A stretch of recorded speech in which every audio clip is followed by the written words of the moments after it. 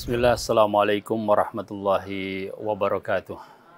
Alhamdulillah wa nusalli wa nusallim ala rasulillah wa ba'd. Kaum muslimin, kaum muslimat, azan ya Allah wa iyakum. Di antara yang dibahas pada sidang ke-10 Dewan Fatwa Perhimpunan Al-Irsyad adalah masalah suap. Semua merasa bahwa suap ini sangat meresahkan dan praktek yang demikian banyak merusak tatanan. Karenanya Nabi kita Muhammad sallallahu alaihi wasallam melaknat pemberi suap dan yang menerima suap.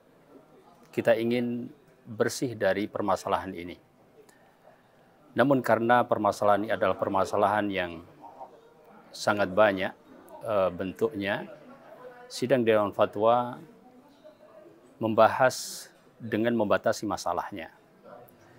Pembatasan yang dilakukan oleh sidang fatwa kali ini berkaitan dengan masalah suap adalah hukum membayar sejumlah uang kepada pejabat atas layanan birokrasi yang diberikan dalam rangka mengambil hak yang seharusnya didapatkan.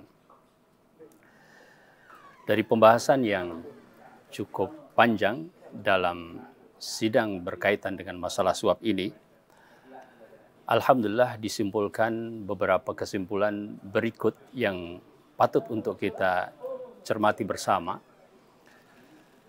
Bahwasanya membayar sejumlah uang pada pengurusan birokrasi yang diberikan untuk mendapatkan hak atau menghindari diri dari kezaliman, maka hukumnya adalah boleh dengan beberapa ketentuan. Ya. Jadi dibolehkan, namun ada ketentuan-ketentuan yang harus dicermati. Ketentuan tersebut yang pertama hukum asal. Ya, hukum asal memberikan hadiah atau imbalan kepada pejabat atas layanan birokrasi yang diberikan adalah terlarang. Ya, jadi pada asalnya kita tidak boleh memberikan itu karena memang itu adalah hak.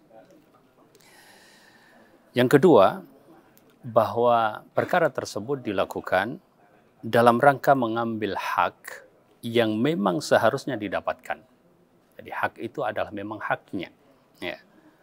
Bukan sekedar asumsi. Ya. Orang merasa bahwa itu haknya padahal bukan haknya. Ya. Tetapi memang itu adalah hak yang seharusnya dia dapatkan. Ya. Dan dalam rangka menghindarkan diri dari kezaliman, atau karena kerugian yang dialami, ya. bukan sekedar asumsi. Ya. Ketentuan yang ketiga, adapun jika dalam rangka mendapatkan sesuatu yang bukan haknya, ya, dia membayarkan, tapi sebenarnya itu berkaitan tidak dengan haknya, ya. maka hal ini adalah perkara yang terlarang, ya. tidak dibolehkan dan termasuk dari praktek haram. Ya. Tentuan yang keempat, uh, supaya tidak disalahfahami bahwa uh, ini berlaku umum, ya,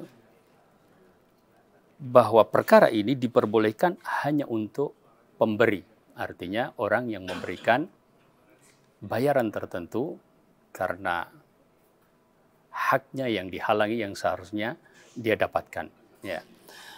Adapun pejabat penerima karena ada rashi, ada murtashi, ada yang memberi, ada yang menerima, ya. Adapun pejabat yang menerima, maka hukumnya tetap tidak dibolehkan, ya. Dia tidak diperbolehkan untuk menerima atau bahkan meminta imbalan tersebut, ya, atas layanan birokrasi yang dia lakukan. Ya. Jadi poin ini adalah poin yang uh, penting, ya bahwa itu diperbolehkan bagi pemberi karena memang haknya terhalangi. Ya.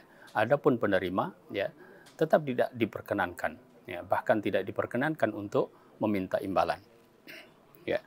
Kemudian ketentuan yang kelima, ya perlu dicermati pula bahwa praktek ini boleh dilakukan ya, dalam kondisi darurat, ya, dalam kondisi darurat.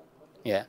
Artinya jika tidak ada cara lain yang bisa dilakukan, ya, apabila masih ada kemungkinan cara-cara lain yang bisa dilakukan, maka tidak ditempuh jalan ini. Demikian secara singkat ya kesimpulan yang didapatkan dari uh, rumusan masalah yang dibatasi pada hukum membayar sejumlah uang kepada pejabat atas layanan birokrasi yang diberikan dalam rangka mengambil hak. Semoga Allah Subhanahu wa taala selalu memberikan kerahmatan kepada kita semua, kenyamanan dan keberkahan. Aku lu qouli hadza subhanakallahumma bihamdik asyhadu an la ilaha illa anta astaghfiruka wa atubu ilaik. Wassalamualaikum warahmatullahi wabarakatuh.